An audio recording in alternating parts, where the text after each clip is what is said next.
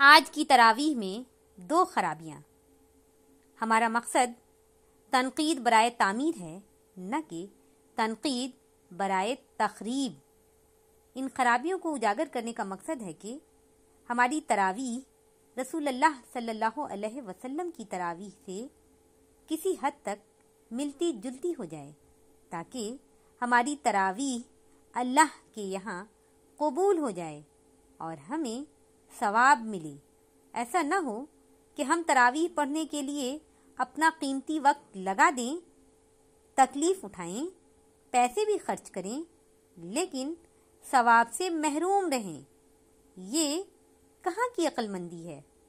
बाद में चलकर तरावीह में मुकम्मल कुरान सुनाने और सुनने का रिवाज और मिजाज पैदा हुआ है।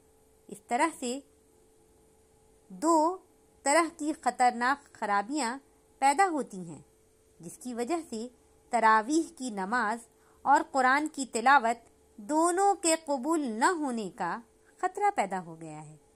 अल्लाह करे हम सब की तरावीह कबूल हो। पहली खराबी, वो ये है कि तिलावत कुरान बहुत तेज़ी से की जाती है, क्योंकि जहन में टेंशन होता है कि ठहर ठहर कर इत्मीनान से पढ़ेंगे तो मुकम्मल कुरान की तिलावत इस कम वक्त में मुमकिन नहीं, जबकि मुकम्मल कुरान पढ़ना है और मुक्तदी को सुनना भी है। तबसरा बहुत तेज़ी से कुरान पढ़ने की वजह से तिलावत बातिल हो जाती है। सवाब नहीं मिलता, क्योंकि कुरान नाजिल करने वाले ने कुरान को पढ़ने का तरीका यूँ सिखाया है, तर्जुमा, कुरान को ठहर ठहर कर पढ़ो। इसलिए इस आयत का सही मफहूम ये है कि कुरान को ठहर ठहर कर पढ़िए। ज़रूर ठहर ठहर कर।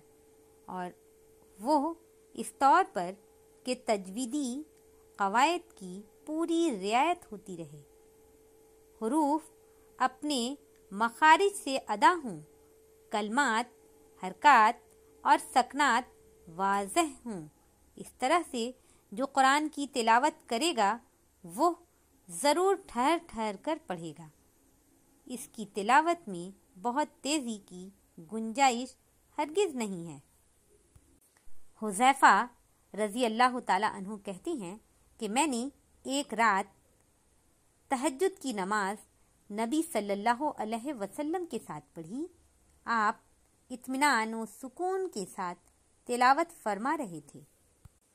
और नबी सल्लल्लाहु अलैहि वसल्लम तरन्नुम और रिक्कत आमेज अंदाज में कुरान पढ़ने का हुक्म करते हैं।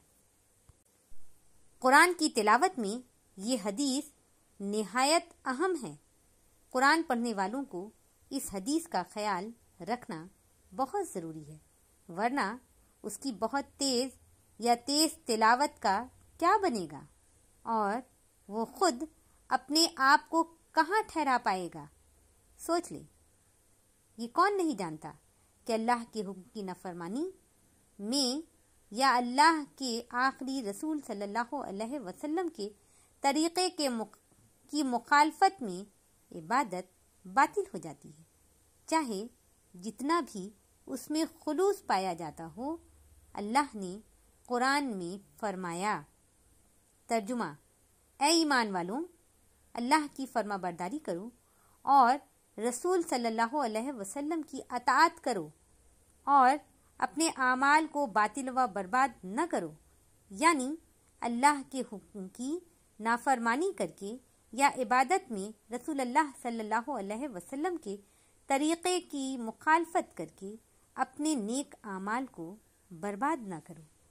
और ये भी कौन नहीं जानता कि कुरान की तिलावत नेक अमल है, अल्लाह की इबादत है, इसलिए कुरान को बग़ैर ठहरे ठहरे, कुरान को बग़ैर ठहर ठहर कर तजवीज़ से न पढ़ना, बल्कि बहुत तेज़ या तेज पढ़ना अल्लाह के हुक्म की नाफरमानी है। और तिलावत में अल्लाह के रसूल सल्लल्लाहु अलैहि वसल्लम की अतात न करना, रसूल अल्लाह सल्लल्लाहु अलैहि वसल्लम के तरीक़े की मुखालफत करना, इसलिए ऐसी तिलावत का अंजाम अदम कबूलियत है।